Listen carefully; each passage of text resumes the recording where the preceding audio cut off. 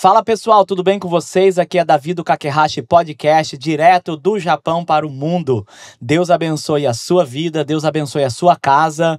É, o meu desejo é que esse podcast, como os outros que nós temos gravado aqui, venha abençoar sobremaneira você e a sua casa. Por isso eu já quero pedir para você deixar o seu joinha, deixa o seu like aí, tá bom? Comente aí no Instagram, se inscreva também no nosso canal do YouTube compartilhe, tá bom? Porque é, isso ajuda muito a gente. O YouTube vai entender que se você comentar, se você compartilhar, se você é, enviar para outras pessoas, isso vai trazer engajamento e ele vai entender que é, o conteúdo é bom e pode ser liberado para mais pessoas. Então a gente pede a sua colaboração, porque eu tenho certeza, gente, eu tenho certeza, olha, que o tema de hoje, como todos os nossos podcasts têm sido, né, maravilhoso, mas hoje nós vamos abordar abordar pela primeira vez um tema aqui. Hoje é o quadragésimo. Qual episódio que é? Deixa eu perguntar para nossa quadragésimo, quase 50 episódios já,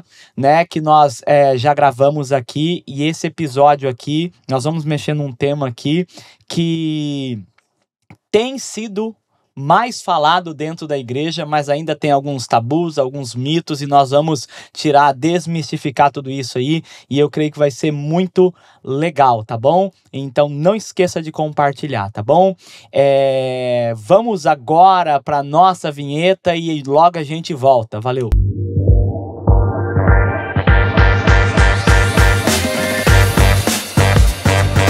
E aí, minha gente, voltando agora, você viu? A gente tá chique agora, até com vinheta, né? Até com vinheta.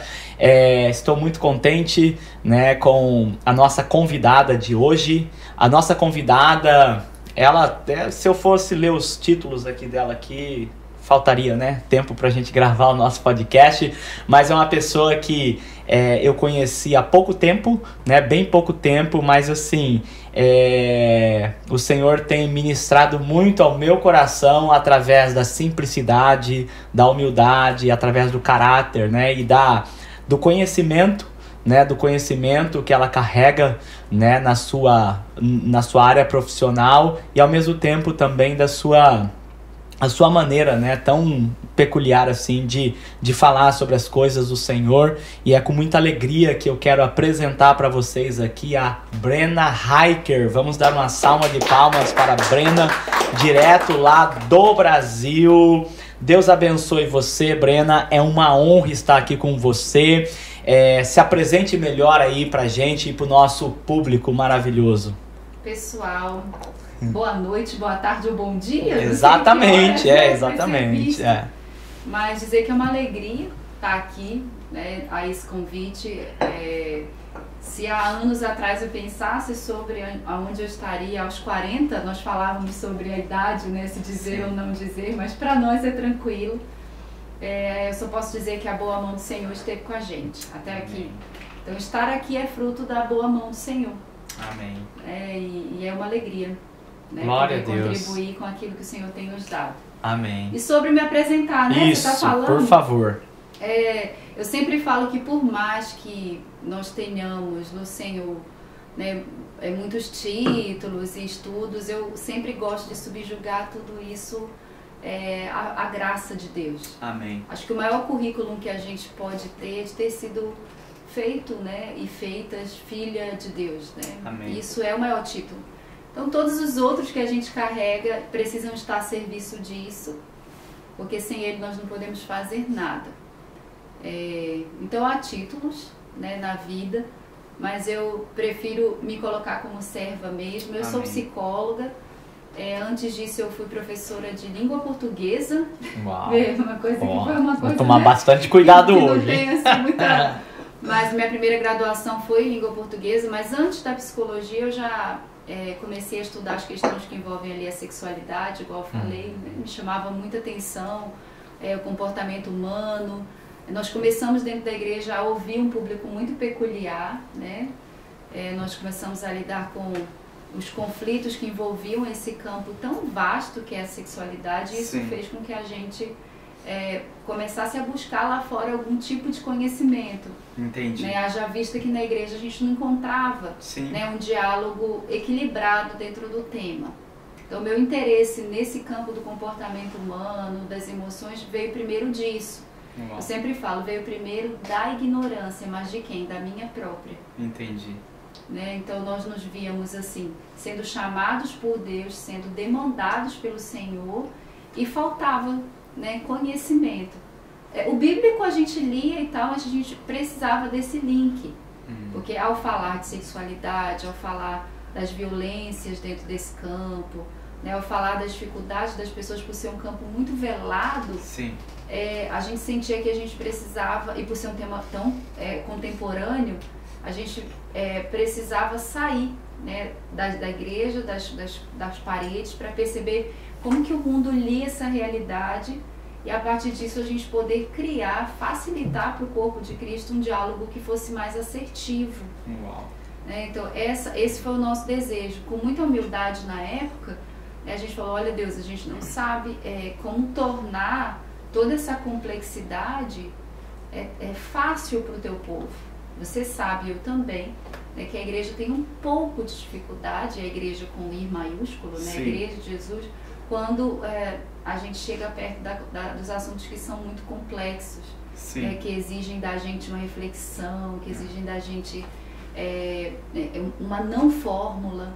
Né? O ser humano ele, ele, é, ele quer as coisas prontas, é. né? ele quer que alguém diga para ele o que ele tem que fazer. Isso. E em sexualidade isso não era possível. Hum. Então a gente precisava de, de um é, de algo que, que pudesse dar para a gente substância.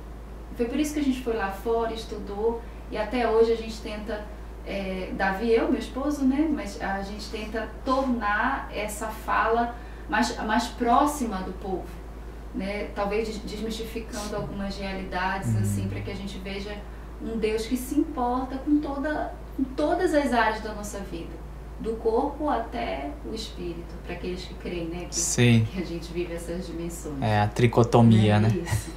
isso. Entendi. Você tem filhos? Dois. Dois filhos. É, a Nathalie, de 15 anos, e o Pedro, de 10. Você é natural da onde? No Brasil? Belém do Pará. Belém do a Pará. Terra do açaí verdadeiro. Ah, verdadeiro.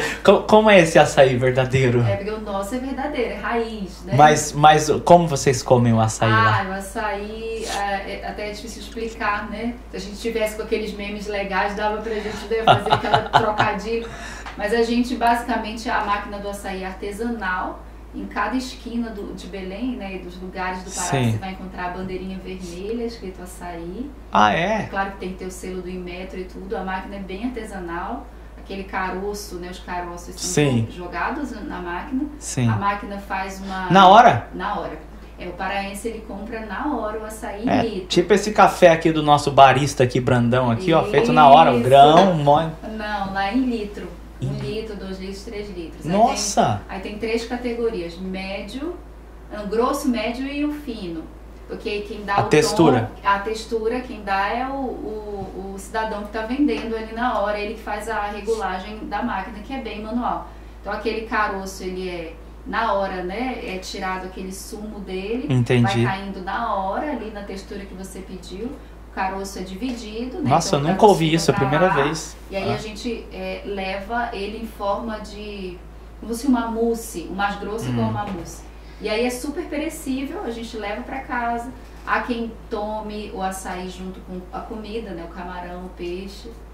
É, Dá pra gente... colocar um leitinho também. Não, e aí, isso eu aí, sabia! Isso, que aí, gente, né? isso, aí, isso aí é horrível, isso é um conjuro pra gente. Eu sabia. É, o paraense nunca né, vai, vai é fazer mesmo? isso. É, a gente, no máximo, dura de um dia pro outro. Então significa que o açaí que a gente tem em qualquer lugar do Brasil não é açaí. É fake. É, a gente tem, quando você vira assim, você vai achar, excetuando o norte do Brasil, você ainda vai achar em Macapá, mas é nosso. Mas quando você abre atrás, vai estar escrito assim, uh, uma quantidade muito pequena de açaí, talvez um, ah, é, 12%, aí gente, você vai ter xarope. Entendi. É como os sucos que a gente é, compra de é, caixinha, né? Para ele se uhum. tornar, hum. para ele durar, né? Ele precisa de muito aditivo. Hum. Então não é o nosso açaí de fato, com granola, leitinho, banana. É o que eu comi. É outra coisa. É, não dá né? a ver. Né? Não, não. Entendi. Não é. Mas, Mas, eu sou dessa terra. Entendi. É isso, gente. Esse foi nosso podcast de hoje. Uma aula de açaí Como brincadeira. Como você faz o açaí verdadeiro. Como você faz o açaí verdadeiro, tá bom? Brincadeira, mas assim, ó, fica à vontade, Ah, tá? pode Tomar o seu chazinho, o seu chazinho. Ó, tem, o Brandão tem até chá agora, hein, Brandão? Tá ficando chique, hein, Brandão? Olha aí, ó, nosso patrocinador ofi- oficial aqui, ó, Mr. Brunch Coffee, ó. Fez um cafezinho agora. E é, e o cafezinho dele também não é igual o açaí, mas é feito na hora. Só, só 20 minutos, né? Pra consumir o café, o café né? 30 minutos. 30 minutos, mais que isso oxida, né? Oxida, daí fica. dá É isso, ó. dois. Que chique, hein? É, você que quer um café verdadeiro, procure pelo Bran- Brandão, tá bom? Ele roda o Japão inteiro aí com o, o food truck dele aí, atendendo aí a comunidade japonesa e estrangeira, tá bom? Mas hoje não é aula de açaí, nem de café e nem de chá. Hoje nós vamos falar um tema que eu confesso que há uns sete anos, há uns sete anos eu tinha um pouquinho de preconceito, né, desse tema que nós vamos falar e por ignorância. Por é, ignorância da minha parte mesmo, é, porque eu não entendia. Então, pra mim, o tema que nós vamos falar hoje é psicologia, né? E, e hoje nós queremos entrar dentro da psicologia em algumas áreas, mas assim, pra mim, psicologia era uma. Eu demonizava, literalmente, né? Então, se alguém viesse e falasse assim: olha, eu tô com um problema, né?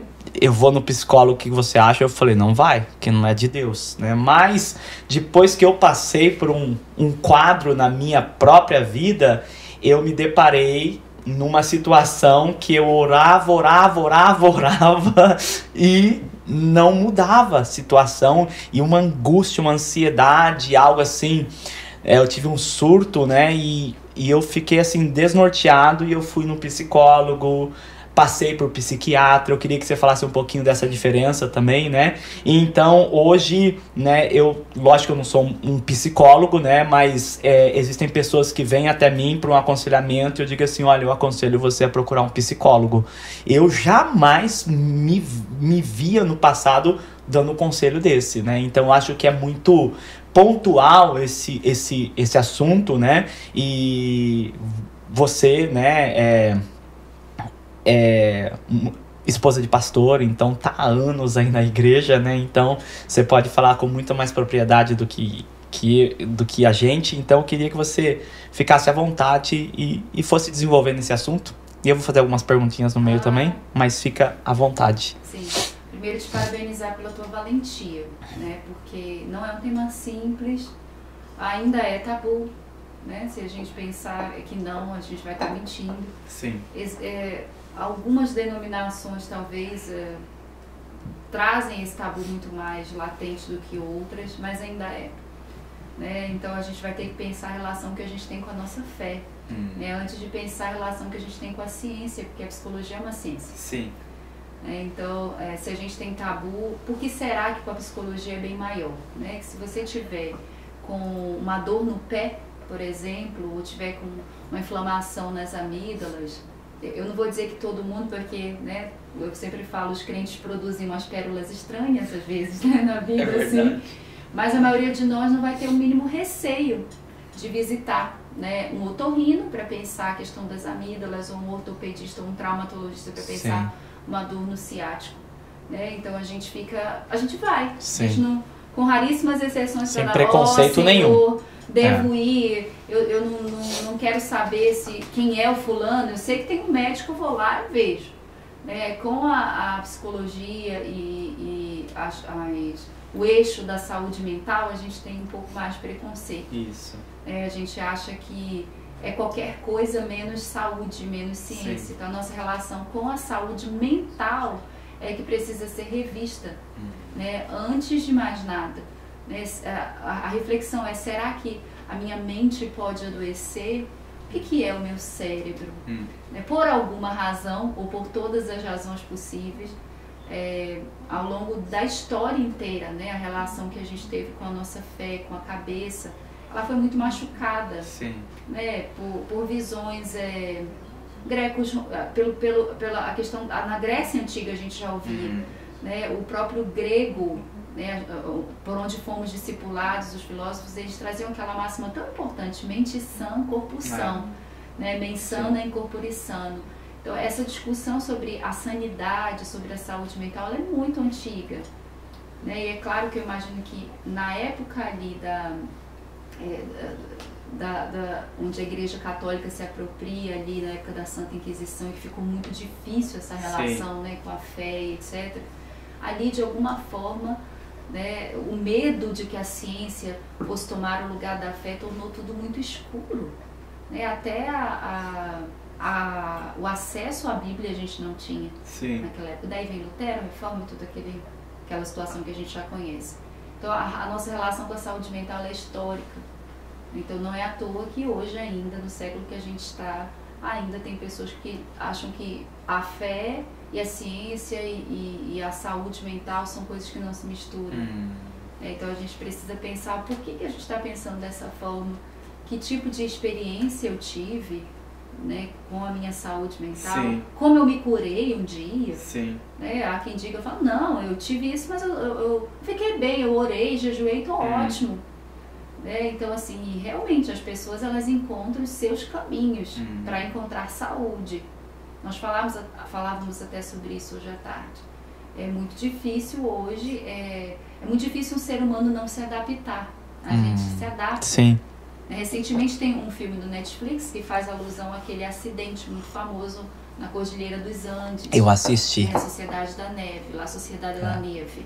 Então, Sim. aquilo é fantástico e aquilo ali É. mostra o quê? A capacidade É. que o ser humano tem de sobreviver, É. de se adaptar. Aquilo foi um milagre de verdade, Sim. mas assim, olha só, É. né, o nível. Então, ah, às vezes a nossa saúde mental tá péssima, Hum. isso ao longo dos anos, desde que a gente às vezes é pequeno, e a gente vai encontrando nosso recurso Sim. né? Enfim, então acho que é, a nossa dificuldade hoje ela é muito mais profunda do que a gente Hum. imagina que é. A gente precisa visitar esses lugares, né? A história, a minha experiência, o que eu ouvi sobre isso, Hum. né? Ao longo da vida, porque isso é que forma, por exemplo, o nosso pensamento último. Hum. O que você tinha, por exemplo, né? Quando alguém chegava com você lá no gabinete pastoral, você falava, não vai no psicólogo, porque essas reticências estão aí, está aí toda a tua história, toda a tua interpretação. Hum. Por quê, né? Que ir no psicólogo para você antes era ameaçador, Sim. Né? Então, é isso que a gente precisa pensar antes de sair dizendo que não serve. Hum. Não é? Não sei se você concorda, mas Concordo. é isso, né? É, é a reflexão, né? E eu acho que às vezes a gente tá no. A gente não, não faz essa reflexão, né? O, Por que, que eu, eu acho É. da forma que eu acho? o né? psicólogo ele trabalha muito com perguntas, como funciona? Sim, né? Primeiro a psicologia é uma ciência, Hum. né? A psicologia ela não se ocupa com as questões de fé, então isso é Hum. importante a gente pensar. Entendi. Mas para nós, é, o, que, o que o paciente ou o cliente traz importa. Hum. Então, se aquele paciente ou aquele cliente é um cliente que ama a Deus e que e cuja fé importa, a relação dele com a comunidade de fé importa, então importa para mim enquanto Entendi. profissional.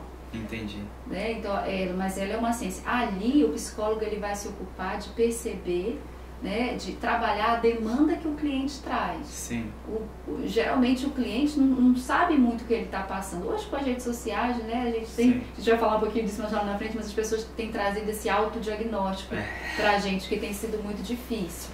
Mas o paciente ele chega ali querendo aliviar a sua dor. A sua dor ou aquilo que ele promove que traz dor a quem ele ama. né? Ele não quer mais estar daquela forma. Isso. Quando ele chega ali, ele quer saber o que eu tenho. E eu quero que você me ajude Sim. ali. Então, o meu papel como psicóloga é primeiro ter uma escuta muito apurada, mas sempre a minha escuta vai estar debaixo é, de um rigor científico. Hum. Para nós, a gente chama de uma abordagem. Abordagem. né? Cada psicólogo tem a sua abordagem. A psicologia tem hoje inúmeras abordagens. As mais conhecidas a gente já sabe, que é a psicanálise, a, a teoria, a terapia cognitivo-comportamental, Sim. que cresceu bastante, que é a TCC. professo, a TCC. A terapia dos esquemas, é também focada na questão da cognição e Hum. do comportamento, que é a que eu, a que eu utilizo. E a gente vai ter muita teoria comportamental. Então, o psicólogo, ele está ali, então a nossa escuta, o nosso olhar, ele vai ser todo enviesado para aquela corrente que a gente trabalha. Entendi. E o nosso objetivo ali é realmente trabalhar o alívio né, do paciente, Hum. é garantir para ele condições de ele viver de uma forma mais adaptativa Hum. na vida. Né? Então a gente não inventa, não deveria inventar a roda. Sim. Né? A gente deve trabalhar com o que o cliente traz, pegar na mão dele falar, eu vou com você né? Vou te ajudar nessa jornada. E ó, o vínculo terapêutico importa muito, Hum. né? Você confiar na figura ali do seu Sim. psicólogo. Né? Ele não é um deus, ele é uma pessoa comum, mas ele tem, né, um pressuposto científico para te Hum. ajudar a ver talvez aquilo que você não está vendo. Então é uma relação, uma troca, Sim. né, ali na hora. Então esse rigor científico ele importa muito. Hum. Né? O, o bom psicólogo é sabe fazer boas perguntas de verdade. Por quê?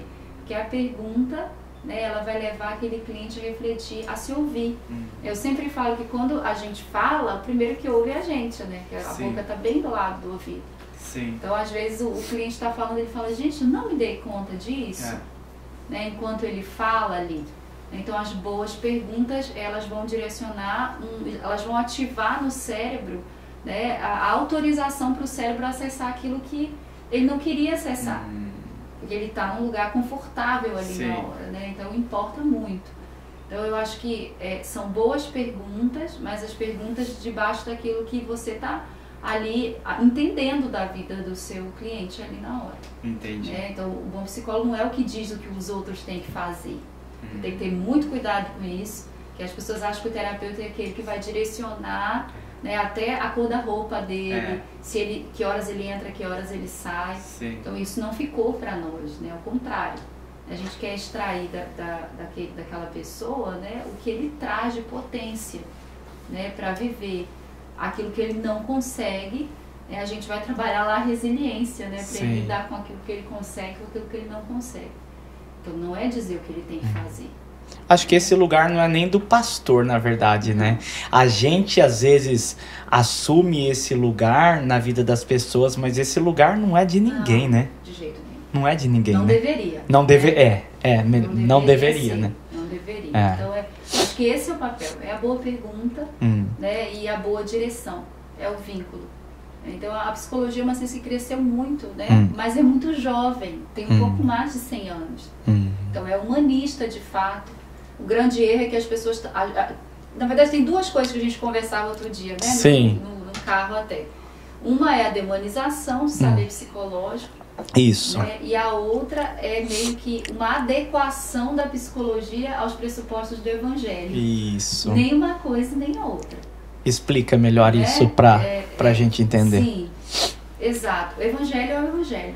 Inerrante, né? perfeito, né? o único suficiente para salvar né? o ser humano, que vai penetrar, como diz lá em Hebreus, né? a ponto de dividir Alma e alma espírito. e espírito, medulas e juntas, É. né? apta para salvar. É. Isso a gente não, não discute. Sim, O evangelho vai chegar onde nenhum saber pode chegar. sim. né? A qualidade de um aconselhamento bíblico é enorme. Né? Isso é outra conversa, mas os bons conselheiros bíblicos também, né? Eles Uhum. também precisam fazer boas perguntas. Eles Sim. também não estão ali para direcionar Sim. e nem para criar uma nova abordagem. Eles estão ali para falar, para aplicar a Bíblia É. naquela demanda. É. Né? Então é diferente. O aconselhamento bíblico não é terapia psicológica, são outras coisas. E a, e a psicologia do lado daqui, né? então se eu estou do lado desse lado aqui, o evangelho é o evangelho. Então eu não vou pegar é, por que você se comporta dessa forma, colocar um versículo bíblico para justificar por que, que você se comporta dessa forma Entendi. né? Eu falava que essa é até uma crítica que tem muitos cursos de criação de filhos, né? Sim. Hoje, né, pelo menos no Brasil tem Com muito. fórmulas, né? É, e eu gosto até, acho que é legal, assim, é, aqueles que são, mas quando eu vou para um curso desses, porque eu sou da área também, eu, eu, eu não quero ah, ouvir sobre psicologia positiva lá. Hum. Porque isso eu escuto nos simpósios que eu participo, é, eu trabalho isso no meu consultório. Eu quero é, ouvir como aquele pai ou como aquela preletora instrui aquele pai, aquela mãe em como criar aquele menino debaixo dos pressupostos do Evangelho. Eu Hum. quero saber do Evangelho. Entendi. É, por exemplo, os livros do Paul Tripp são maravilhosos Ah, nesse sentido. sim, Né? O Concordo. famoso Pastoreando o Coração da Criança. Só conheço. que ele tá com um novo que é fantástico. É mesmo? Eu já li umas cinco vezes que eu indico é, para todos os pais que puderem, chama Desafio aos Pais. Esse eu não conheço. É fantástico. É, um, ouso dizer que é um dos melhores livros que eu já li É mesmo? na vida de criação de filhos. Eu conheço o primeiro e já Sim, li. É, É. mas o, o Desafio aos Pais consegue ser bem melhor. Por quê? Porque o Paul Tripp ele não se ocupa de nada da psicologia. O Paul Hum. Tripp ele é da corrente do aconselhamento bíblico. Entendi. Então ele vai falar do evangelho ali. Hum. Ok, né? E- então é o evangelho, mas a gente vai para esses cursos e a gente passa é, seis horas sentados ali com aquela mesclagem entre teoria comportamental, Hum. como você treina é, o seu filho ou o seu ratinho, brincadeira, né? Porque Entendi. porque na psicologia Sim. a gente tem a parte da teoria comportamental que a gente trabalha é, com ratinho, Experimento. né? Na psicologia, experimentos. né? Sim. Então, às vezes é isso. Né? A- os preletores estão ali, é, é como se a criança fosse um ratinho de Sim. laboratório, mas coloca ali a- um versículo aqui, outro versículo ali, e fica uma miscelânea. Então, e uma coisa é uma coisa, outra coisa é outra coisa. Agora, a psicologia cumpre o seu papel, né? Ali no emocional, no afetivo. Ela pode ser um instrumento importante para você se ver, para você notar, né? Muita coisa a respeito de você. Se você for ler literaturas é, só que abordam o saber psicológico, você vai ver que eles trabalham muito a questão do autoconhecimento. Ela Isso, Fala muito forte isso. na frente do psicólogo. E, e realmente é importante a gente conhecer minimamente quem nós somos. Porém, pelo Evangelho, não é possível que a gente se autoconheça É conhecimento do alto. é, sem essa Ah. interação com a presença e o Espírito Santo. É. Né? Isso, enquanto psicólogo, eu tenho absoluta certeza disso. Hum. Né? E como eu sou cristã antes de ser Sim. psicóloga, eu sei que dali do meu consultório eu posso ajudar aquele cliente a olhar minimamente para dentro dele. Entendi. Mas a eficácia disso, última, é por meio do Evangelho. Entendi. É o Espírito Santo quem vai fazer isso ali, Sim. na vida dele. Até porque se a gente fosse autoconhecer na nossa própria lupa, miseráveis somos, né? É. Porque o coração do homem é enganoso. Exatamente. Então aí esse pressuposto ele é humanista, né? E, e- e isso, isso logo é, essa agonia, ela foi muito forte nos meus primeiros anos no curso. Eu falava, gente, eu que tenho o evangelho na veia, como é que eu vou dividir isso, Isso, ali? eu quero é, é isso que eu Né? preciso saber. Eu sofri porque antes eu já era conselheira bíblica. Antes de Então, ser né, psicóloga. Mas é, mas assim, tínhamos formação na área. Uau. Mas assim, lá, lá pelo meu segundo ano, assim, eu orei, né? Eu falei, Deus, olha, eu subjugo a psicologia a ti.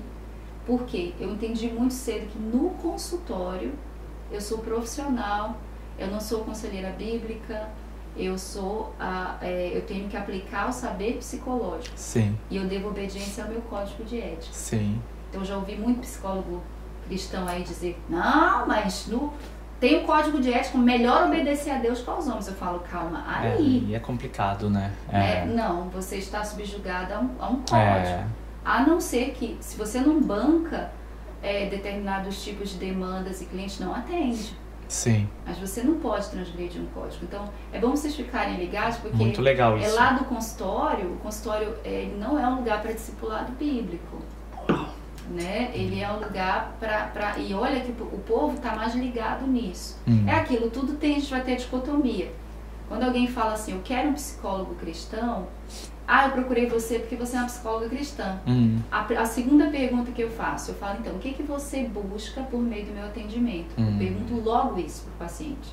Aí ele fala, ah, é porque eu me sinto mais confortável, porque você vai entender quando eu falar algo da Bíblia da igreja. Até Sim. aí, ok. É, até aí.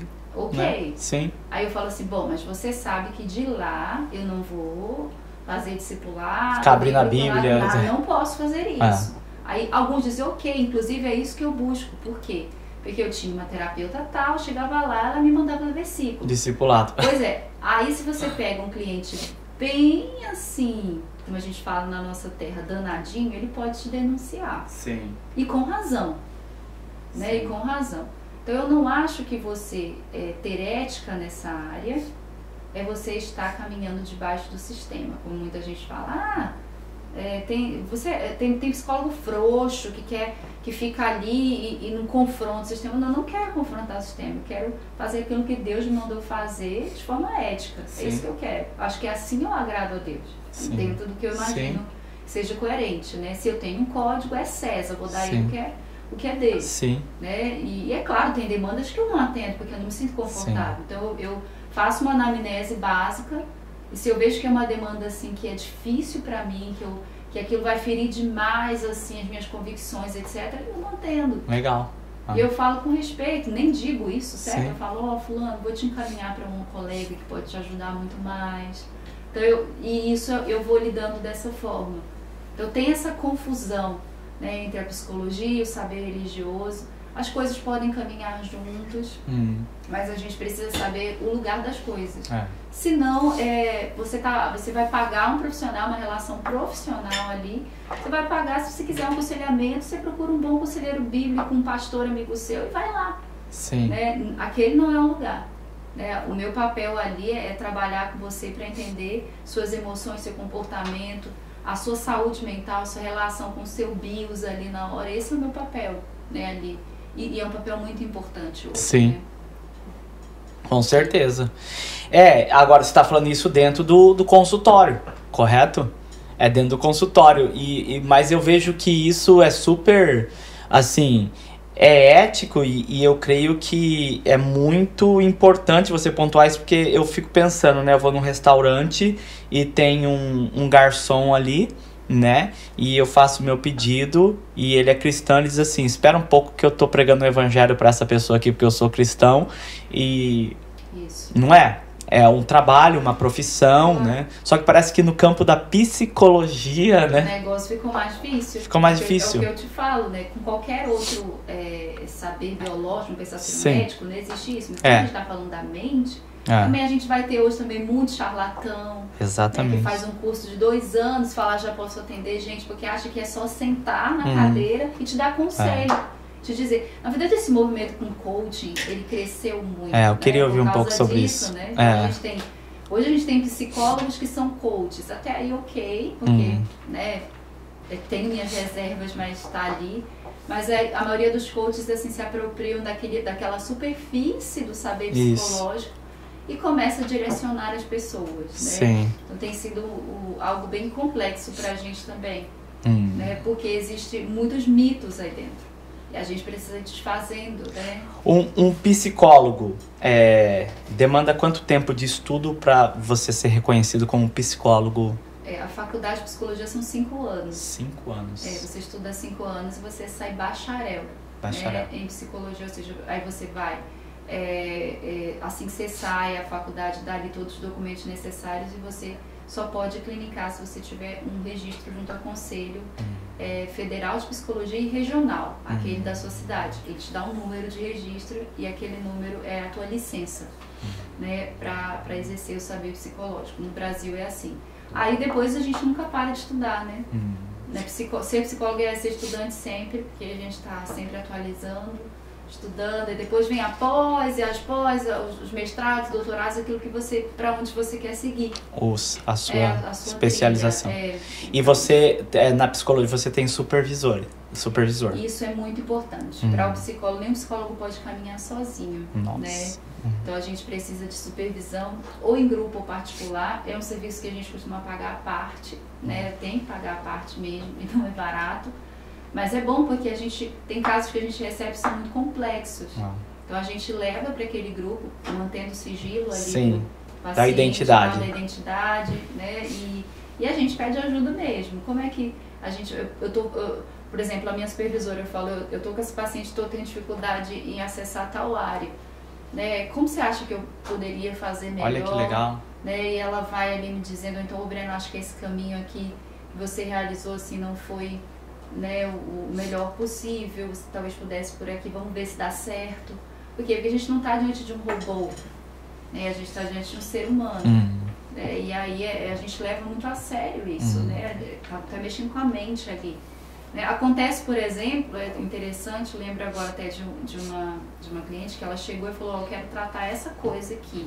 E tem cliente que é bem mais diretivo, está uhum. acostumado, eu quero tratar essa coisa aqui, é, tem outras coisas, mas eu não estou pronta. Ela falou. E também não sei se vou estar. Ela disse, mas essa aqui eu queria que você me ajudasse. E eu sabia que era muito importante para ela hum. é, trabalhar essa outra coisa.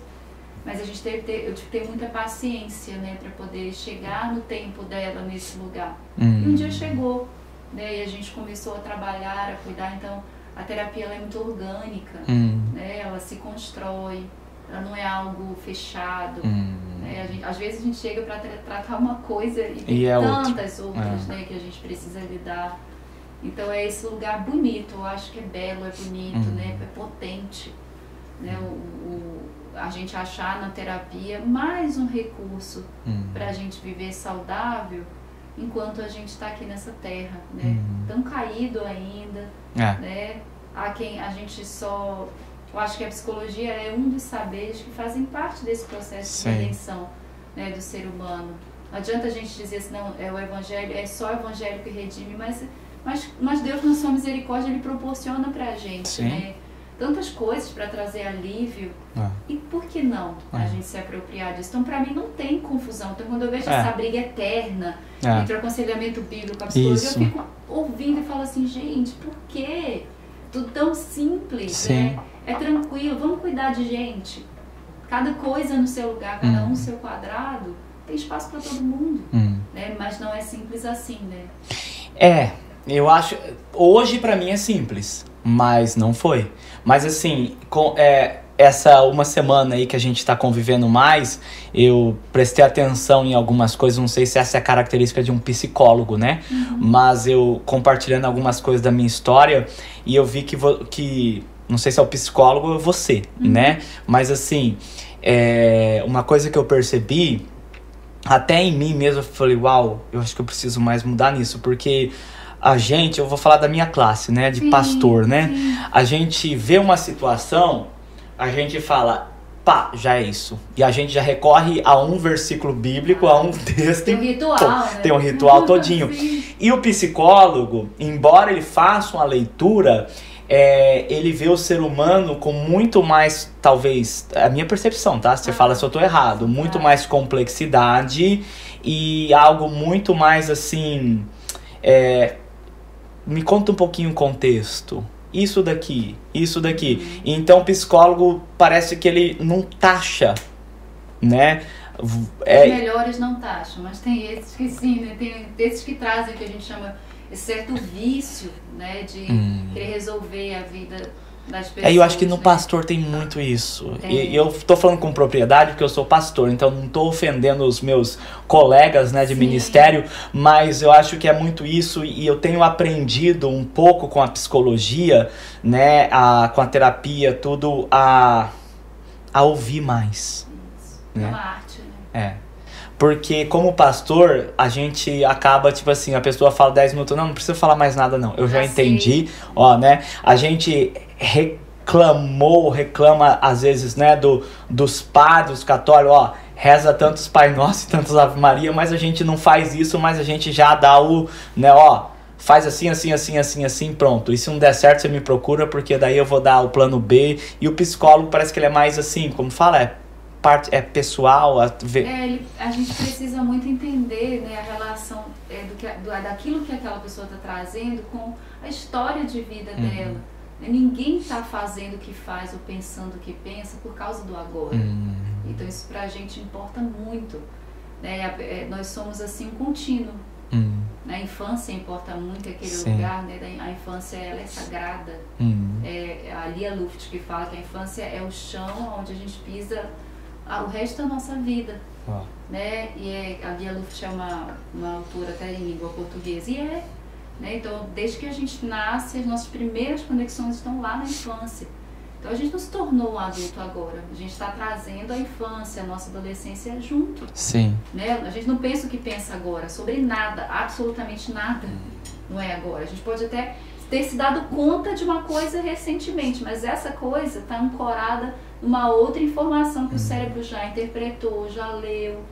Né? Então é isso que a gente quer descobrir. A gente quer, uhum. pelo menos na minha abordagem, a gente quer é fazer a, aquela pessoa perceber como ela está funcionando. E isso seria o padrão daquela pessoa? É, uma hum. espécie de padrão. Hum. Sim, é o que a gente chama de circuitaria, é um circuito, hum. literalmente. Então, quando aquela pessoa percebe a circuitaria dela, só isso já é bem, é bem curativo, vou chamar assim, né? Fala, nossa, né, eu ajo dessa forma por causa disso. Uhum. Né? Então, até essa questão da, da culpa, da autopunição que vem, ela é até, ela até ela é diminuída, uhum. às vezes, só de ele perceber, nossa, realmente o meu cérebro funciona dessa forma, porque foi assim que ele aprendeu a se uhum. comportar, a funcionar, às vezes como uma defesa. Né? Então, quando a pessoa ela entra em contato com o funcionamento dela, isso é muito estimulante né, para uhum. o sujeito, ele se vê. E, e é muito, é, é, assim, é lindo, né? Eu acho que eu, a coisa mais bonita do saber psicológico, a meu ver, assim, é essa conquista do cliente. Eu me uhum. emociono demais, assim, ela, não, a psicóloga não pode chorar e tudo, então tá errado, porque várias vezes lá do consultório eu mesmo choro, eu me alegro com, com aquele paciente, né, e tal, eu, eu fico contente junto, porque eu sei, né, da luta, né, da, da batalha que aquele sujeito está travando com ele, uhum. né, com a vida dele, com a, com a história dele, né, para aprender a amar melhor, para poder, a, a, às vezes, a, a, até a, ser amado melhor. Hum. Ele não uhum. sabe como, como ser faz amado, isso, né? É. Não sabe receber é. né, aquele amor e tal. E é muito legal quando ele se conecta com isso, né, com a possibilidade de melhorar. Então isso é legal é. demais, assim. É, você, né, aquele dia que a gente conversou, e você fez eu, eu falando algumas coisas, você, mas como foi antes? Como foi antes? Você foi puxando. Aí depois eu fui para casa, eu conversei, tava conversando com a Denise, e eu falei: "Nossa, eu nunca tinha pensado que talvez essa minha maneira de funcionar, porque ainda mais eu que sou cristão, pastor, aí eu pego determinado trecho da Bíblia, uhum. eu digo assim, não, eu estou se, sendo semelhante a Cristo nessa questão. Não, não, mas eu não estou sendo semelhante a Cristo nessa questão, porque isso está me causando dor, na verdade. Eu faço isso não é porque eu estou obedecendo o mandamento, porque eu amo meu próximo como a eu mesmo, a mim mesmo, mas é por causa de um padrão que eu fui desenvolvendo por causa de certa situação e eu tenho pensado muito nisso é, nesses últimos anos. E assim, aí você me fez uma, uma pergunta. Nossa, eu, eu falei, nossa, mas uma pergunta. Eu falei, nossa, mas como uma pergunta tem tanto poder é assim? Pergunta é mesmo, né? A melhor pergunta, assim. Então. É, Mas tem um estudo por trás disso, né? Não é só sair fazendo pergunta também, né, gente? Você vai sair fazendo pergunta aí, né? Não é, é né? Não, funciona, né? não é assim que você funciona. Tem que prestar né? atenção, né? A gente falava sobre. É, a, a gente falava até nessa hora, né? Sobre é, o, a gente precisa entender sempre o que é temperamento. Uma coisa legal né, no consultório, eu lembro que eu faço bastante isso com os meus pacientes, é, a gente tem alguns inventários, que são testes psicológicos, né? Uhum. E para medir a, é, os fatores dentro do temperamento de um determinado sujeito. E é legal porque às vezes aquilo que a pessoa lê como um defeito é só uma falta de habilidade de você administrar o temperamento que você tem. Então, uhum. às vezes é mais simples. Eu, tipo assim, nossa, eu lembro de um cliente que me dá autorização para falar isso. Ele, quando a gente fez o teste dele, um dos fatores muito altos da, da, da personalidade dele é um que a gente chama abertura para o mundo. O que, que é isso? Ele pontuou 80. Então, alguém que nasce, e nasce mesmo, o temperamento não muda, é o que uhum. vem no nosso gene. Sim. É, ele era uma criança muito imaginativa, hum. ele queria ir para a NASA. Então, assim, não era, muito, não era muito da lógica, da organização, mas ele, ele contemplava, ele montava blocos, ele vivia sonhando. Era aquele, ah. eu quero viajar ao mundo. Ele falava isso demais, assim, com uma potência. E depois ele se tornou até, inclusive, jogador de futebol, é, viajou muito, assim, o mundo, mas lá dentro, assim, uma dor e aí um dia é, ele se chocando com essa abertura enorme para o mundo e todas as situações em que exigiam dele, né, aquele lugar de organização, né, quieto, ele ficava muito chateado. Uhum. Isso estava assim trazendo algum prejuízo para ele de alguma forma, porque aquela abertura para o mundo dele nunca foi estimulada pelas uhum. figuras de cuidado dele, né, na infância. E aí, enquanto a gente falava isso, ele falou: "Nossa, mas eu sempre quis viajar, sair, ele, e ele enfrentou as maiores dificuldades para cumprir é, a profissão de jogador, né? Sim. né? Dormiu relento, fez várias coisas, e ele falava isso assim com tanto orgulho. Mas aí um dia eu falei assim, por que você acha que você teve tanta força para vivenciar tudo isso? Aí ele falou, porque eu não queria ficar preso né, hum. em casa. Né? E interessante, a família dele até hoje mora na mesma casa, com os mesmos móveis, etc. Então olha que coisa as figuras de cuidado, papai e mamãe, principalmente a mãe, é, é, não perceberam que ele era uma criança com uma abertura para o mundo Nossa, alta. Então, aquela mãe, amando demais aquele menino, queria que ele ficasse ali. Entendi. E aquilo era temperamento dele mesmo. Então, assim, os pais, eles precisam ter essa sacada de entender que criança eu gerei, quem é aquele sujeitinho que eu tenho aqui. Então, você vai ver, se der tudo certo, quando eu faço esse teste, quem é pai e mãe fica muito feliz, porque você começa a perceber isso no seu filho, Uhum. desde, desde pequeno. Não que a gente não vai errar com o nosso Sim, mas a gente pode tornar a vivência daquela criança mais macia. mais leve. falo. É, mais macia Hum. o toque, mais macia a vida. Ah, a entendi. pode diminuir Uhum. aquele impacto. Resulta que, que ele, ele falava isso, eu do lado daqui já lia que a abertura para o mundo alta dele foi muito fragmentada, mas ele não lia isso, mas eu aqui lia. Sim. Então as minhas perguntas para ele foram sempre direcionadas nessa constatação. Eu Entendi. queria que ele percebesse. Agora eu entendi fiz as perguntas que você fez pra É, mim. Ok. Ah, Mas olha que legal, um belo dia, a gente conversando ali e tal, e ele parou assim e falou assim, nossa, enquanto você fala, eu lembrei de uma coisa, quando eu tinha sete anos, ele é um homem grande, forte, ele começou a chorar. Ele chorou, chorou, chorou. Ele falou que na- no bairro dele, no interior, tinha uma sorveteria. E assim, era a, o- era a última vendinha da cidade. Passando a sorveteria tinha um portal que dizia bem-vindo à cidade tal. Então, você passasse aquele portal, você ia embora daquela cidade. Era uma cidade pequena. Então, pra, é, o portal estava aqui, você seguia ao Sim. virar a sorveteria. Então, continuava a cidade aqui. Entendi. E ele falou que ele- o pai dele levava ele todo domingo, na mesma hora, ali. Então, olha só, uma criança que nasce com uma abertura alta sendo colocada numa rotina super fechada, né? Então, ele tinha aquele sofrimento ali, mas não sabia discernir. Então, quando ele entrava na fila, ele disse que quando o carro do pai dele ia, dentro dele, ele ficava sai, sai, sai, sai, sai, sai, sai, sai. Porque ele queria conhecer o que tinha um pouquinho mais para além daquela cidadezinha. Entendi. O carro ia aqui e o pai virava. Virava. Ele falou assim: embora ele amasse muito aquele sorvete daquele mesmo sabor, daquela mesma cor, é, ele, ele se sentia preso ali na hora. E aí, enquanto ele me falava isso, ele chorou demais. Nossa. assim. E aí eu perguntei, né, como sempre, por que, que você acha que você tá chorando? Ele falou, porque eu não tinha me dado conta que vários excessos que eu cometi na vida foi porque eu não tive essa abertura amparada, Uhum. né? Então hoje ele um adulto, é, a gente está trabalhando dentre outras coisas para que ele viva essa abertura que é dele, mas de uma forma mais equilibrada. Sim. Porque já viu aquilo que a gente não teve? A É. gente quer muito, né? É. E aí a gente acaba se lambuzando demais na busca daquilo, né? É. Então, assim, descobrir as nossas faltas é muito interessante, Uau. né? Então, assim, isso a gente constrói junto ali, né? No, no processo terapêutico e acaba sendo bem bonito. Sensacional. Vamos fazer o seguinte, ó. Nós Vamos. vamos dar um break rapidinho. Vamos.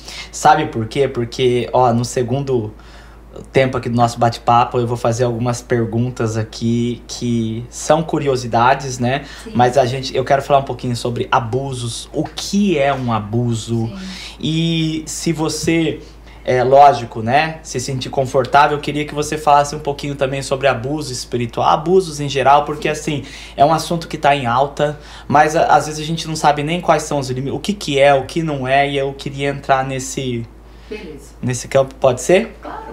Então, daqui a pouco a gente volta, fique ligado. E aí, minha gente, vamos voltar pro nosso segundo tempo desse bate-papo que está incrível é, com a Brena Hiker, né? Um papo muito é, interessante, eu creio que pontual para esse momento da história que nós estamos vivendo.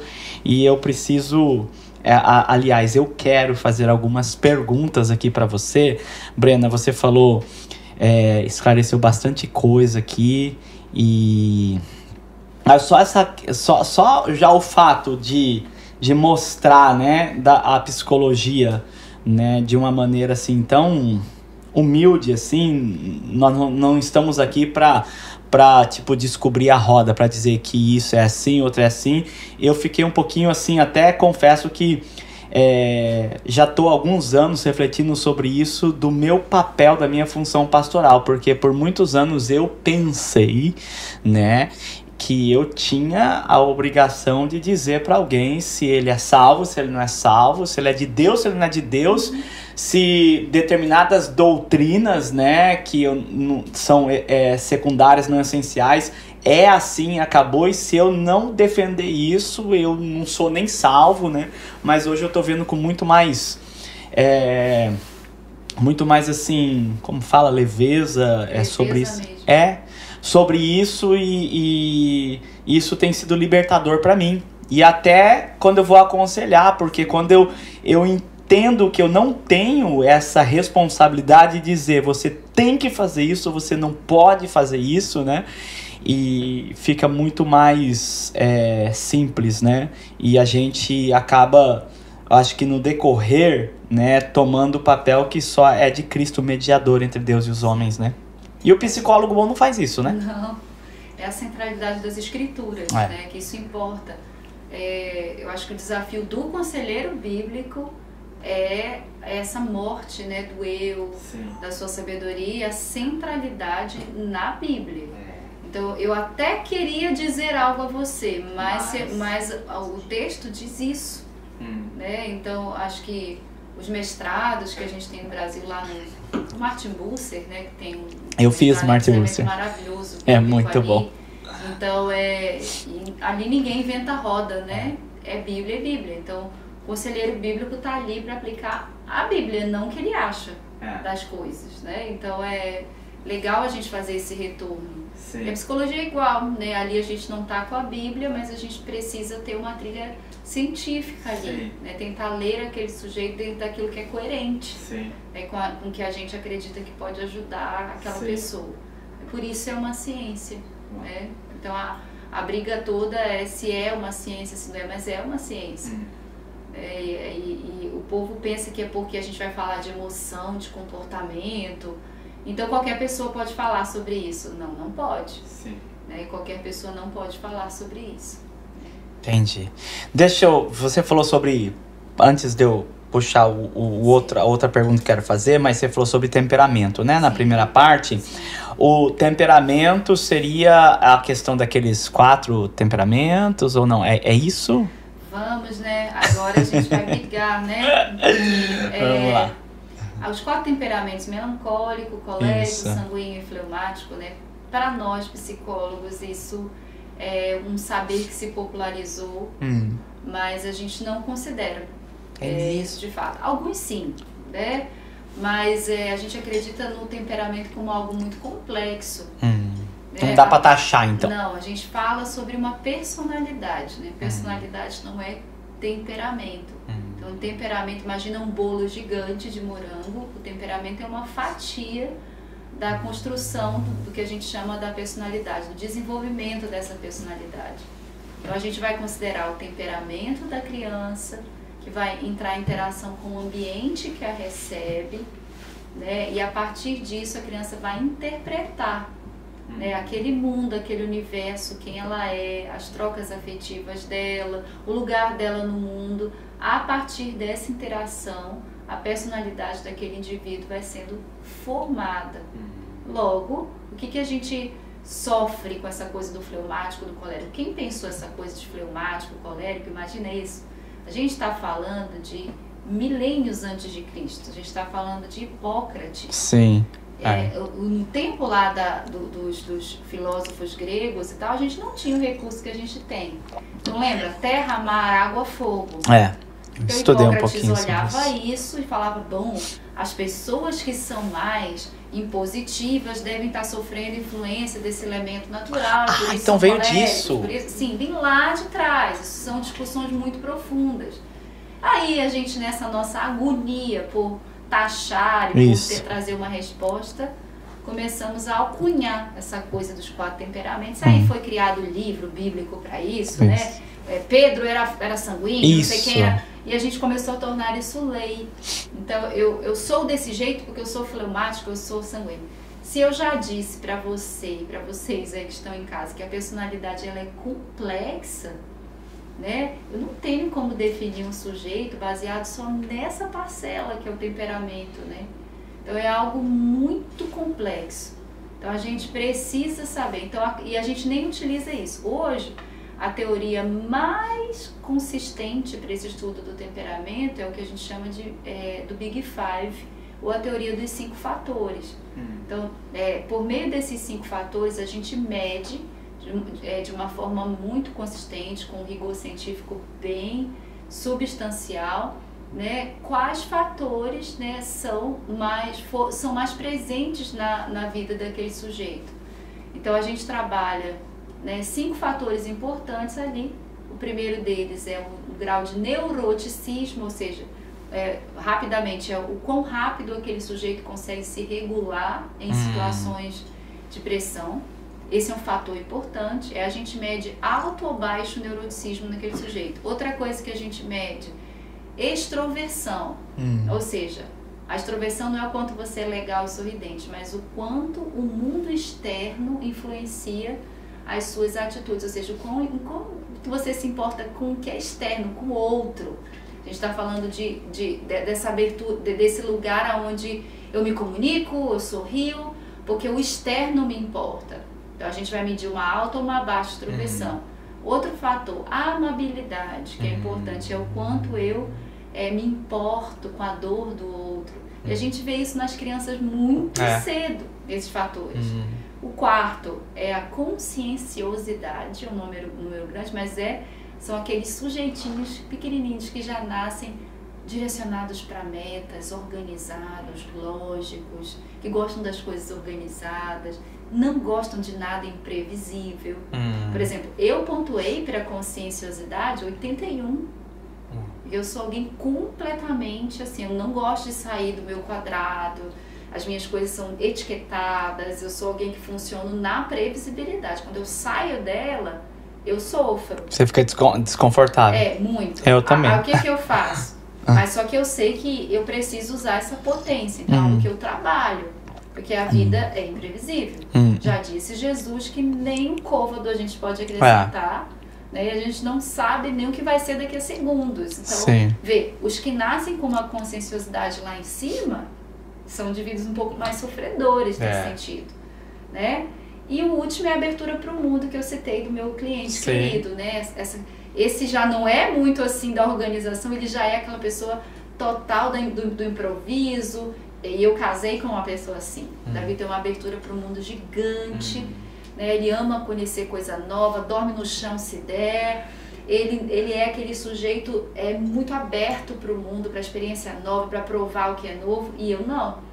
Então, esses cinco fatores a gente mede em graus e isso compõe o temperamento daquele sujeito, ou seja, o temperamento nasce com a gente. Hum. Então faz muito sentido a gente pensar, e ninguém fala de melancólico, sanguíneo, nada disso, porque isso é muito flácido, é um conhecimento, é um saber muito, além de popular, ele é um saber que a gente chama de Superficial? É, é, a palavra que não estou achando agora, mas ele é, é comum, é, hum, não, é ah, algo, não é suficiente. Entendi. Né? Ele se populariza, mas ele não define. É raso? Né? Raso. Hum. Né? Para não falar outras coisas, é bem raso e qualquer pessoa utiliza hoje. Hum, hum. Né? Então, é uma coisa assim. Então, a gente precisa de uma métrica boa. E estudar o temperamento é só uma primeira coisinha que a gente faz.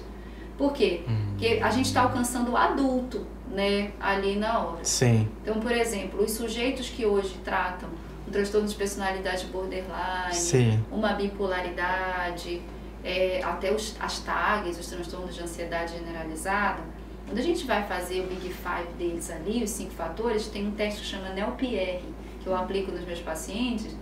Esse sujeito, ele pontua para neuroticismo 80, 70. Ou seja, ele já era uma criança que trazia uma dificuldade de regulação. Hum. Na história dele, a gente já vai vendo que ele pontuava lá em cima. Era uma criança assim, que o pai dizia A, ele falava não, ele já era mais difícil de, de lidar com pressão. Então, o temperamento dele está ali intacto, completamente intacto. Né? Então, a gente trabalha o temperamento, por isso que é problemático sanguíneo e colérico, porque olha só, eu estou falando de uma coisa, um componente de formação da personalidade de alguém que vai ter que se costurar com outras para que eu possa te entender. Então, assim, é muito complexo. Ah, eu sou assim porque eu sou sanguíneo. Oi? Tipo assim, você é sanguíneo e o resto? E, e todo mais da sua vida. Né? Não por isso que você isso. falou, agora entendi. Por isso que é só uma fatia. É muito pequeno, né? Mais importante. Sim, sim, né? sim. O temperamento é algo muito importante. Então, por exemplo, quantos, ah, quantos de nós ao longo da vida foi forçado a, a fazer algo que a gente até hoje não consegue? É. Quer ver um exemplo do exemplo é, do meu filho, do Pedro? Tá. Ele você conheceu, ele é muito falante, gosta ali, né? Mas o Pedro, ele não era sempre assim. Hum. Né? Mas ele ainda, mesmo sendo falante, ele é bem segurado, assim. Hum. Quando ele era menor, a Nathalie, é, houve uma inversão hoje, que ela está adolescente, mas ela era assim, muito falante, dizia hum. oi para todo mundo, isso aí aconteceu. O Pedro, ele nasce com uma extroversão um pouco mais baixa, né? E nasce com uh, é, um neuroticismo médio, ele até se regula fácil, mas uma amabilidade muito alta. Hum. Muito alta. Então, e a Nathalie já nasce com uma habilidade um tanto mais baixa. Significava que eu levava a Nathalie para o parquinho para brincar, aos seus três anos, o coleguinha dela caía e ralava o joelho, ela sentava do meu lado muito chateada. Uhum. Eu dizia, por que, que você está chateada? Porque ele se ralou e não quer mais brincar, isso é um absurdo. Falava, minha filha, mas ele está chorando. Mas eu não quero saber, mãe, eu quero é brincar. Uhum. Ou seja, ela não tinha lá aquele coração de coitadinho, ela uhum. queria algo para ela. Hum. Então, alguém com uma amabilidade mais baixa, ela é um pouco mais egoísta. E quem ensinou isso para ela? Ninguém. Ela tinha só três anos. Ela é. nasce com essa sim, potência. Sim. O Pedro já não. O coleguinha caía, ele vinha chorando, hum. sentava e dizia: Mãe, você tem um biscoitinho. Eu dizia por quê? Ele pegava o biscoito, espontaneamente. Baixava próximo ao coleguinha e dizia: Coleguinha, tome esse biscoito, não chora mais, hum. levanta. Então, ao longo da vida, era a taxa de amabilidade de ambos era muito diferente.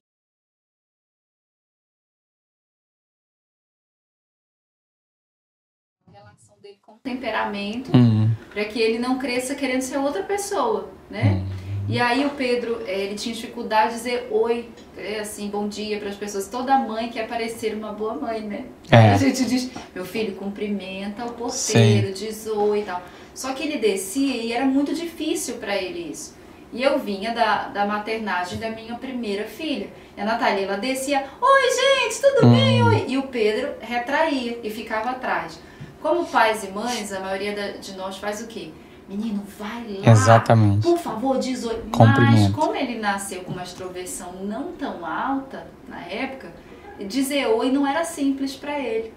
Era temperamento mesmo. Então o que, que eu fiz? Falei, filho, vamos fazer assim?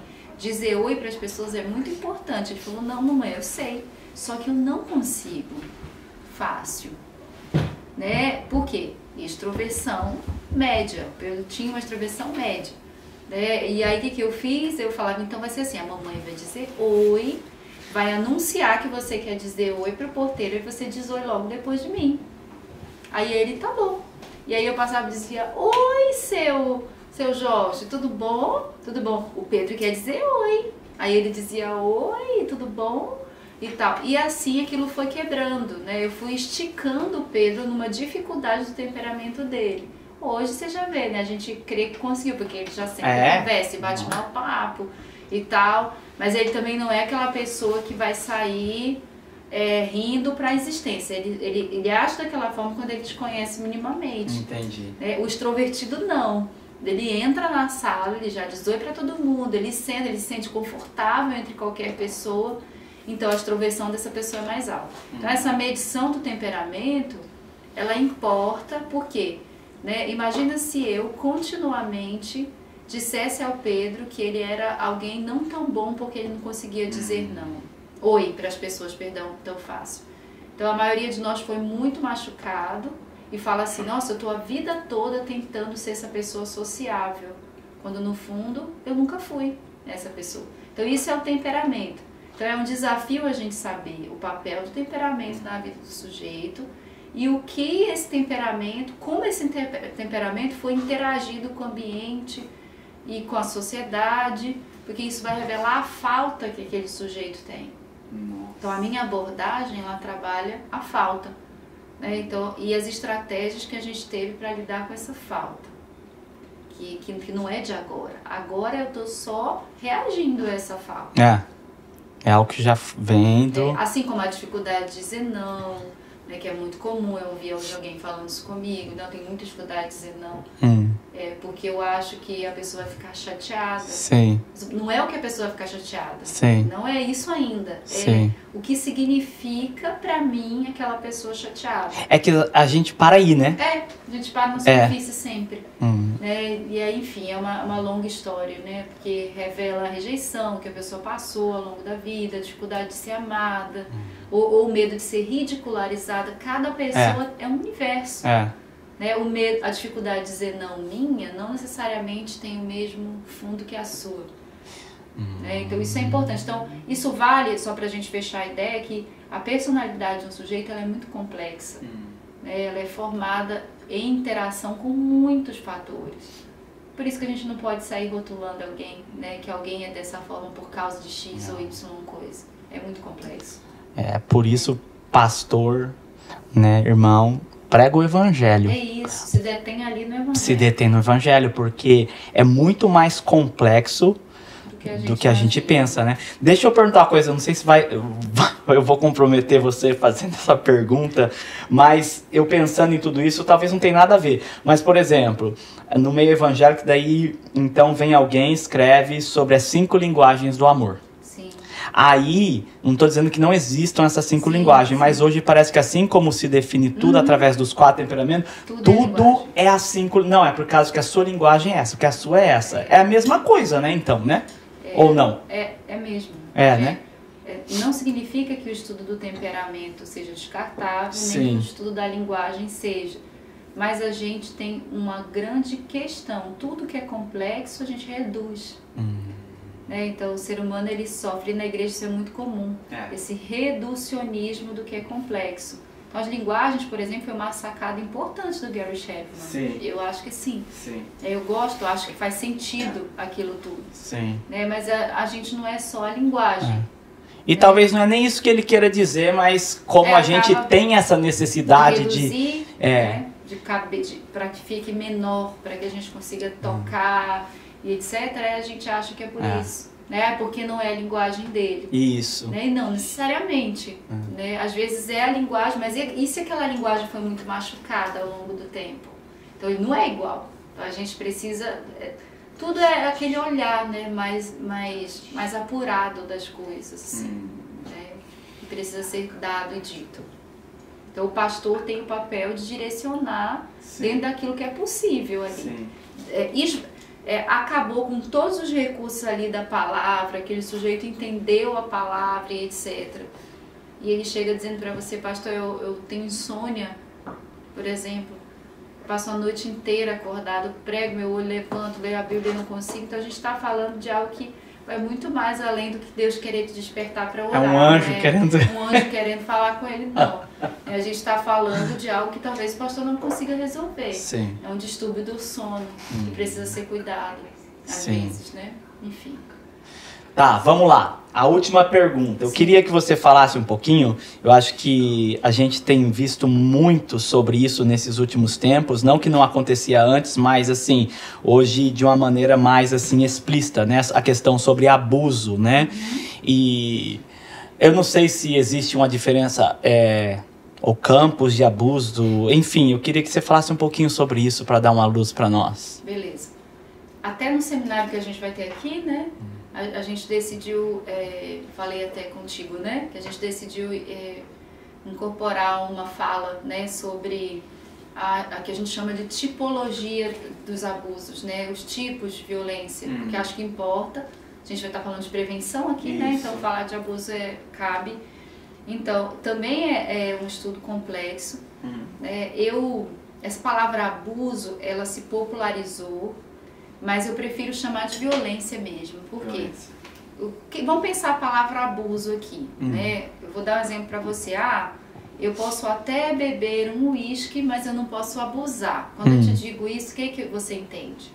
Que eu posso beber um pouco, isso. mas eu não posso é passar do, é, do, lim... do limite. Do limite eu não é. posso é abusar. Isso. Então, o abuso, a palavra abuso, ela pressupõe uma certa autorização até certa medida. Isso. Certo? Então, se a gente pensar no corpo de uma criança, uh, ou no corpo de qualquer pessoa, é, que você vai é, violar, você vai transgredir um limite, é aceitável a palavra? Hum. De jeito nenhum. Não, não tem como, né? Não é. tem como. É. Então eu vou abusar daquela criança, significa que eu posso usar aquela, aquela criança até certa medida, é. eu adulto. Então a gente trabalha violência porque aí é indiscutível. Hum. Então a gente usa violência barra abuso, mas a, as literaturas mais atuais, assim, dentro do campo da violência sexual, psicológica, afetiva, a gente trabalha mesmo a palavra hum. violência. Porque o abuso até te dá uma autorização para fazer. Né? É verdade. Mas não. Hum. É, e a gente vai ter tipologias, a gente não vai falar de todo, você me perguntou, exclusivo do espiritual, Sim. né, ali. Então, essa, é, essa questão da violência espiritual é até nova, se a gente pensar. Hum. Os compêndios mais antigos a gente só vai encontrar violência sexual, violência física, Verdade. violência psicológica barra emocional, até a patrimonial, é. também a gente vai encontrar a negligencial. Mas a espiritual, ela de certa forma é nova dos tempos para cá. Por quê? Porque para que haja violência espiritual barra abuso espiritual, eu vou precisar de um contexto específico para que isso aconteça. Hum. Então eu vou precisar de a figura de um líder barra líderes que sejam carismáticos e que desenvolvam é, figura de autoridade sobre Sim. aquele sujeito. Mas tem uma coisa que é indiscutível em qualquer relação abusiva. Hum. Guardem essa palavra, que Vamos é o ver. princípio da assimetria do poder. Assimetria. O que, que é isso? Hum é, sempre, em qualquer relação abusiva, eu vou ter alguém maior sobre menores. Hum. Sempre. É assimétrico, no sentido hum. de que o adulto, quando abusa da criança, ele é, é, mais velho. O adolescente, quando abusa da criança, porque a gente é. recebe muitos relatos, ele é mais velho. Né? Até quando alguém da mesma idade abusa de outra, o princípio é o mesmo, porque tem algo naquele sujeito que coagiu aquela, aquela pessoa. Tipo, mais força, é, mais... mais força, Entendi. a posição. Entendi. Tudo, né? Lembrei até de uma enfermeira que eu atendi há anos atrás, que ela vinha saindo do, do trabalho, e um adolescente de uns 18 anos, empunhado de uma arma, infelizmente, atrás do muro do hospital, acabou estuprando ela. Levou a bolsa e estuprou. Ele era mais novo que ela, hum. mas a relação era assimétrica, porque Entendi. ele punha uma arma, era Entendi. mais, velho, era mais novo, mas estava numa situação Tinha... é, de coerção de poder. Sim. Então o princípio é o mesmo, a assimetria de uhum. poder a gente vai encontrar em qualquer intervenção abusiva uhum. sempre. Né? Isso é algo importante. Se a gente falar do contexto religioso, eclesial, é, a gente pensa num palco perfeito para isso. É. Né? É. E sobretudo algumas denominações, né? Porque a gente está falando de, da figura de líderes, de um Sim. governo, né? que todas as igrejas obviamente têm, né? e um povo né? que busca algo né, que busca ser ensinado, que busca comunhão e etc. E a figura da, daquele líder, né, ali, ou daqueles líderes ali para poder é, discipular aquelas Sim. massas, né, que a gente chama de massas. Freud, há mais ou menos muitas décadas atrás, sete décadas atrás, ele escreveu um texto que é atualíssimo.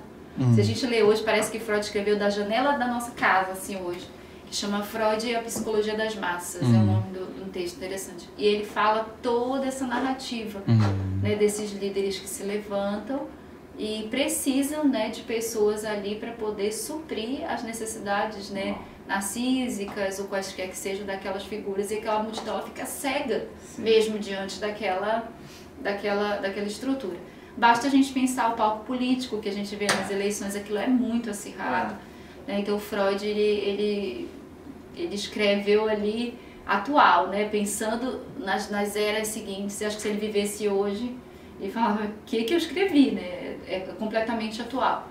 Então a violência, ela ocorre sim. Hum. E quando eu penso na igreja, eu penso em duas coisas, assim, muito específicas. As pessoas, elas se achegam à comunidade de fé porque elas têm necessidades, não é? Hum.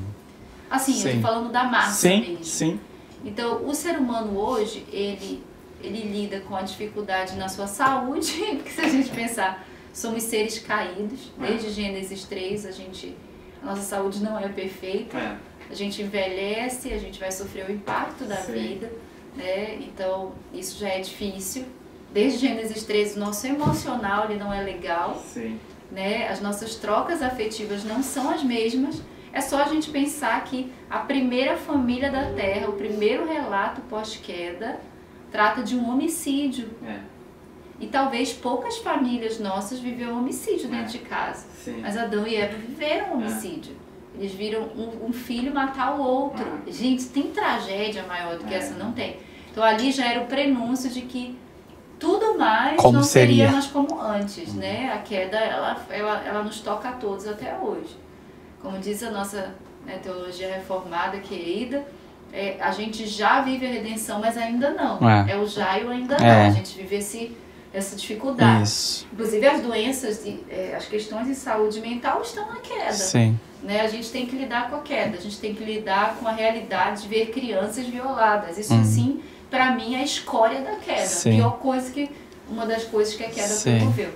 E na igreja as pessoas chegam doentes, elas chegam com necessidades físicas, financeiras, emocionais, elas querem direção. Sim. Né, que é tudo que o ser humano precisa. Sim. Ela quer saber para onde ela vai e ela encontra na fé, na religião, no transcendente é. esse lugar. Um desses lugares, né, ali de, de estigma. E elas precisam de dinheiro. Sim. Né, porque é uma necessidade é. básica. Suprimento. Isso. Vida, comer, vestir, calçar. Né? Então, vê, a gente tem três necessidades muito latentes, assim, que são indiscutíveis, inexoráveis na, na condição humana. Né? E aí a gente vai ter outros seres humanos que, consciente ou inconscientemente, sabem é. disso. É. Né? E essas pessoas têm suas questões, as suas demandas, a sua vida, e é muito fácil né, que esse sistema de controle, ele, ele é todo pautado, é só vocês pensarem, ele é todo pautado dentro dessas necessidades. É verdade. É, algumas, algumas denominações, né, você sabe muito bem, desenvolve aquela figura do, da, do pater, do é. pai é. e da mãe. É. E, e, por exemplo, na abordagem da psicologia que eu professo, essa figura, a gente chama as figuras de apego, hum. pai, mãe, ou quem está nesse papel, elas são elas não são só relevantes para a formação de um indivíduo, elas são primordiais. É. E a maioria de nós teve esses papéis muito machucados ao longo Sim. da vida, né? E aí essa figura do líder, ela aparece como esse pai. Sim. Né? Ela aparece como essa mãe. Uhum. E tem algumas denominações que é literalmente isso. É o pai espiritual, chama. é a mãe. E chama é, ainda, e né? chama. Meu pai, né? minha mãezinha. Então tem aquela adolescente que nunca soube o que é limite na vida. Uhum. Como uma, que, uma adulta que eu atendi. Então, a mãe trabalhava muito, tinha muito dinheiro, o pai também, e a menina tinha tudo que queria. Entrava e saía dentro de casa, a hora que queria, tinha viagem para Disney e tudo. E ela cresce sem uma necessidade básica fundamental, que se complementa aquela teoria do Big Five do temperamento, que, que são as necessidades, e uma delas é limites realistas. E essa menina não tendo isso, aí ela chega numa comunidade de fé dessas, dentro desse sistema de discipulado, controlador e tal, ela encontra uma líder essa líder era, era assim, perguntava para ela, fulano, que hora você sai? Tal hora é oração. Olha, que roupa que você vai usar? Não pode mais usar isso, para fazer aquilo. O que, que aquele coração anunciava? O limite. Hum. E ela encontra na figura daquela líder aquilo, alguém se importa comigo, né? Alguém Uau. quer. Então ali é, começa uma relação muito simbiótica, né, de controle, muito, muito forte. Mas essa líder, ela era só reprodução do sistema da igreja, que Sim. era esse sistema Sim. de discipulado, né? Sim. Que chamava de cuidar das vidas, aquela situação toda. E aí, é, eu lembro, o desfecho disso foi bem difícil, porque elas desenvolveram uma simbiose tão grande que chegaram até a se envolver afetivamente. Nossa. Depois, no fim das contas, assim, é, se envolveram. É, e foi muito do, doloroso para ambas ali, o processo todo. E a gente viu inúmeros casos disso acontecer, esse é só um exemplo, né? A gente tem casos muito bizarros, né, que tu deve saber e muita gente sabe. Mas assim, a base disso são essas necessidades básicas, né, que o ser humano traz, infelizmente que caem em mãos, né, de pessoas assim que acreditam, que são semideuses ali que podem é. entregar é. isso para aquelas é. pessoas. Às vezes eu ouso dizer com um pouco de otimismo na raça humana, que algumas dessas pessoas fazem isso assim completamente, que são tão faltosas de necessidades quanto essas outras, encontram no controle essa estrutura de controle. Mas uma grande parte sabe o que está fazendo uhum. né, ali. Então as pessoas se submetem porque a gente precisa. Né? E se a gente for para a palavra, né, o texto ali das escrituras é em 1 João, 2, 2 João, 3 João, João fala né, ali sobre a, é, a concupiscência da carne dos olhos, é. nós falávamos, e a, e a soberba, soberba da, da vida. É. Né, que são as três coisas é. que levam a gente para Sim. descer ladeira abaixo. É. E vai ser assim a vida toda. É. Né, os nossos olhos, eles cobiçam. Né, a nossa alma quer. Né, já diz Provérbios, a sanguessuga tem dois filhos. Né? Então a gente sempre quer. Então se a gente não tiver muito em Deus ali, né, arraigado, é, com, é, realmente bebendo dessa graça debaixo da nossa imperfeição, a gente tanto é presa quanto a gente é algoz também. Sim. Então a gente precisa desse equilíbrio, né, assim, dessa dose. Então o abuso ele tem crescido muito, hum. né? Graças a Deus tem uma, as pessoas começam a perceber é. isso também, né? Não antes de sofrerem muito, é. né? Nas garras assim dessas pessoas, é, nós falávamos disso, geralmente esses escândalos eles vêm associados a algum escândalo sexual, é, é. interessante a gente pensar, hum, né? Hum. Porque a gente está falando com consciência da carne. E é por causa do afeto. Afeto, hum. né? Nós somos afeto. Sim. Né? Então essa relação entre o desejo, né, o prazer, que é divino até, né, que Deus nos deu né, ali, é, o dinheiro, o poder e o é. sexo, né, eles são uma tríade importante ali. Sim né, dentro do campo da perversão. Tem umas correntes dessa que dizem, ah, porque é espiritual é a tal da Jezabel, o espírito lá da onde.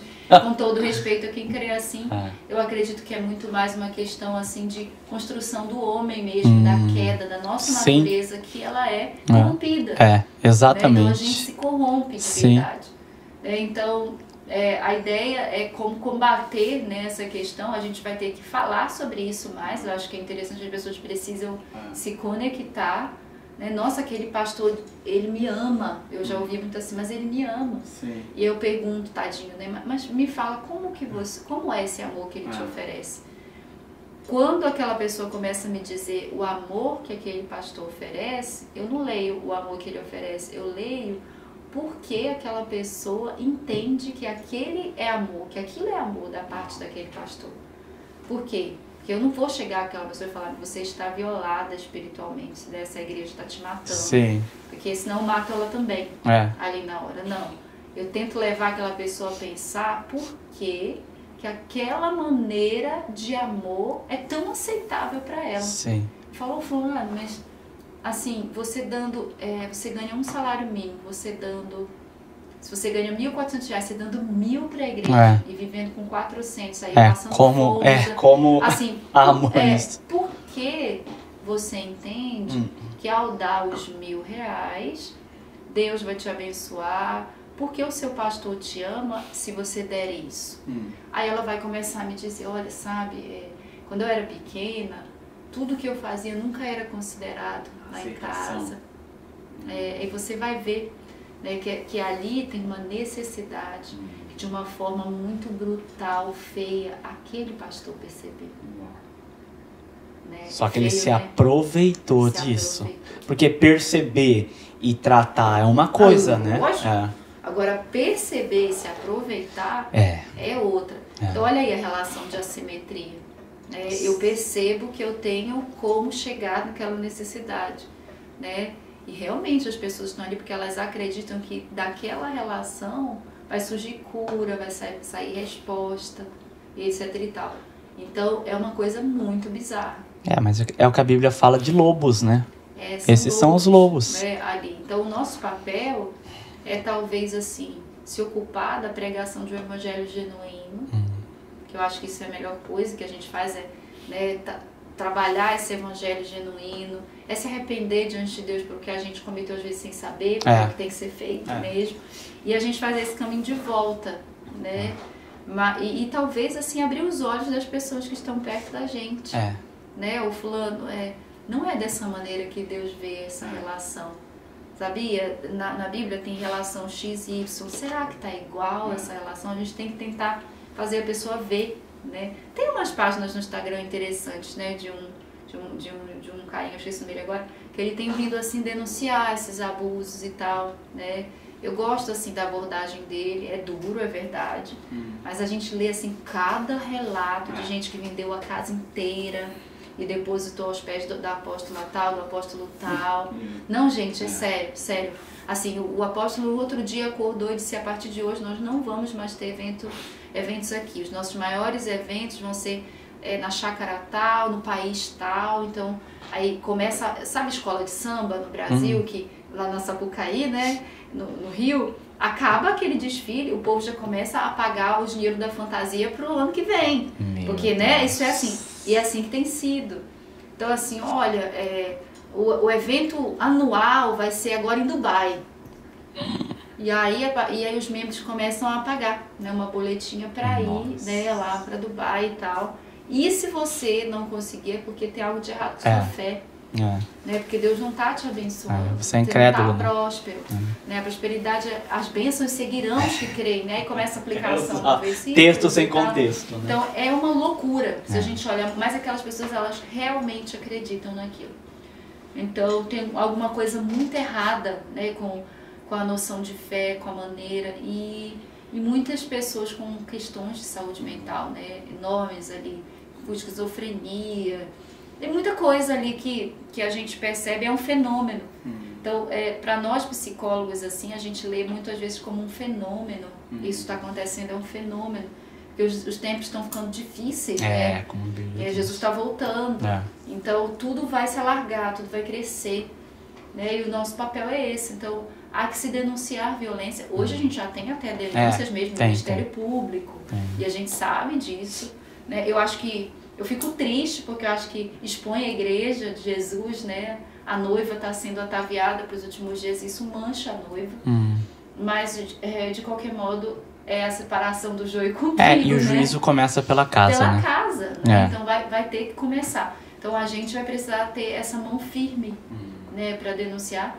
Mas a, o abuso espiritual, ele é real. Ele é real, ele é real.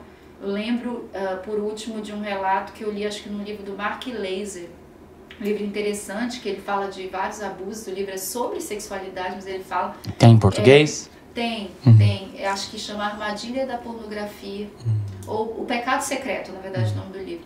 E ele conta um relato que ele, a avó dele era uma mulher muito piedosa na igreja, muito amada, e ela morre. Quando ela morre, o velório dela foi belíssimo. Ele era pequeno, ele era neto, os netos todos na frente começaram a chorar, aquela ausência da avó. Chorava, chorava, chorava, chorava. E o pastor que estava conduzindo o velório olhou para eles e falou: Por que vocês estão chorando se a avó de vocês está com Cristo? Hum. Nós temos é que nos alegrar. E ele parou de chorar naquela hora, porque o pastor meio que deu uma repreensão dele, não hum. podia chorar. Anos depois, ele falou que estava vendo o álbum de família, com os filhos já, e ele viu uma foto da avó.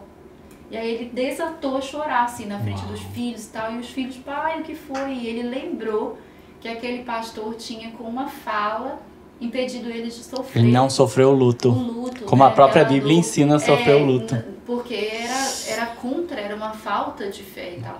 Então, às vezes, os abusos eles estão na fala, né, na maneira. Tem vários. É, na, é, no carinho que você dedica, naquela noção de cuidado, né? Então, não, aquele pastor ele se importa comigo. Então, é, é, é, é eu preciso honrá-lo. Né? Então, o princípio da honra existe, a gente tem que honrar, é bíblico mas como isso se dá? A custo de quê? A troco do quê? Então a gente precisa estar atento, né? E mais do que nunca perguntar por que, que eu me sujeito a esse governo. Ah. Aí entra essa discussão toda que a gente está fazendo aqui, né? De se conhecer, de é. entender as suas faltas, porque um abuso só ele só ganha espaço em um terreno, ele só é fértil porque a gente precisa de coisas, né? É no linguajar espiritual, né? Entre aspas aqui que o pessoal religioso fala só existe Jezabel onde tem Acabe, né? Exato, né? exato. Mas, Mais ou menos essa né? relação. Se a gente se mantiver fiel ao texto, é isso mesmo. É. A gente tem um homem fraco ali que, é.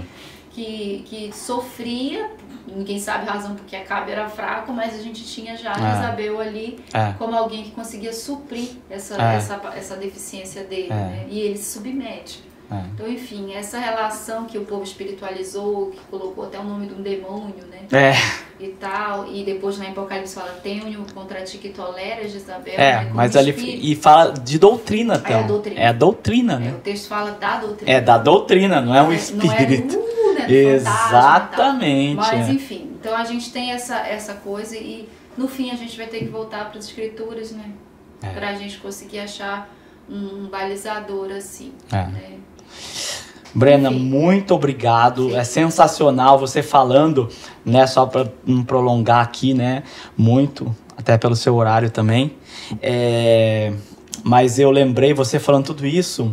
Esses tempos atrás, um pastor que veio de fora, ele disse assim para mim, cara, e ele dizendo, né, você tem que ser mais forte. Ele falando para mim, você tem que ser mais forte. Ele falou, por exemplo, se eu falar agora para os meus filhos, ele chama, fala de filhos, né? Sim. Pelos meus filhos, que para eles virem de tal nação para cá agora onde eu tô, Tipo, amanhã eles param o serviço, eles deixam família, eles fazem tudo. Se eu quiser reunir 50 pessoas, eles vêm aqui. Ele falou, porque eles são fiéis, porque eles são homens de Deus. E aquilo me deu um. Um choque. Eu né? falei, uau. Eu falei, nossa, eu me senti um lixo. Uhum. Eu me senti um. Eu falei, nossa, eu tô totalmente errado. Aí depois, daí algumas pessoas vieram conversar comigo, né? Uhum. E o, o meu pai mesmo veio conversar comigo, Davi. Ele falou: Você percebeu isso daqui? Você analisou isso daqui? Daí um, um amigo meu também, pastor da igreja, veio, pastor, falou: Pastor, você percebeu isso? E na verdade eu já tinha percebido. Só Sim. que sabe quando você não quer? né? Agora, Porque é muita desconstrução, né? É muita desconstrução. Eu falei, nossa. E daí uma outra coisa também chama atenção, agora não falando de líder espiritual, mas às vezes até mesmo como a, é, como a gente, a cobiça, né? A vaidade, porque assim, é, no passado, né? Mas pessoas vinham, né? É, é, mulheres, né? Vinham para mim e falavam, nossa, pastor, eu queria ter um marido como uhum. pastor. E assim, eu queria ter um marido como pastor, eu, porque o meu marido não é trabalhador, meu marido não é de frente, isso, aquilo, e chegavam até na minha esposa, na minha esposa. Sim, sim. A Denise mesmo veio falar várias vezes para mim, ah, a, a fulana falou que queria um marido, ó, falou assim, ó, não é por mal não, tá, Denise, mas eu queria um marido como você, entendeu? Aí fica até indelicado, né, é, feio. Mas você vai ver que, na verdade, tipo assim, é uma brecha pra acontecer algo né? No, a questão do sexual também, o afetivo, porque se, se o cara ali é um lobo, ele fala, uau, olha só, né? É. Eu posso dominar Sim. aqui, eu posso, Sim. né? Então assim, as pessoas elas desejam, é. né? Eu falo sempre, nós somos seres desejantes, Sim. Assim, e Deus sabe disso. Sim. Né? Tanto é que o nosso desafio é essa administração. Sim. Acho que o Davi vai falar amanhã no seminário, né? É a administração do desejo, do afeto e da vontade é, sexualidade, Deus deseja que a gente aprenda a administrar. Não é não ter vontade, né? É. Mas administrar afeto, Uau. desejo e vontade, né? Que ele vai explicar sem dúvida, mas assim. É, é, é, é desafiador. Uhum. Às vezes a irmã fala, não é nem por mal, né? É. Que ela, é, a realidade dela é tão distante isso, daquilo. Isso. Mas tem cobiça ali, é. né? Tem coisa. Então a nossa leitura é, não, imagina um, desse, um desses que tem mais esse olhar mais abusivo. Sim. Nossa, essa irmã é, ela tá precisando, esse é o né? que eu, eu precisava. O que eu é. precisava, né? É. Que alimenta a vaidade de todo mundo, Sim. né? do pastor, a, o desejo da irmã Sim. e tudo mais. É, então é complexo, a gente tem que ficar assim sempre vigiando né, é, triste, é.